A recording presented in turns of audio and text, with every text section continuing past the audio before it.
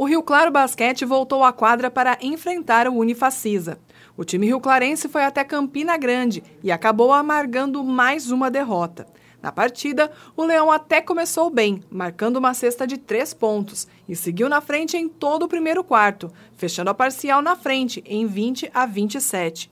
No segundo quarto, o Rio Claro até chegou a sair na frente, porém, o adversário aproveitou os rebotes para marcar, encerrando a parcial em disparada, 20 a 13.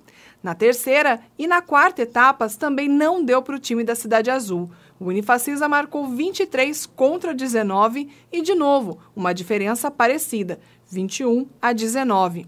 Fim de jogo, 84 para o Unifacisa e 78 para o Rio Claro.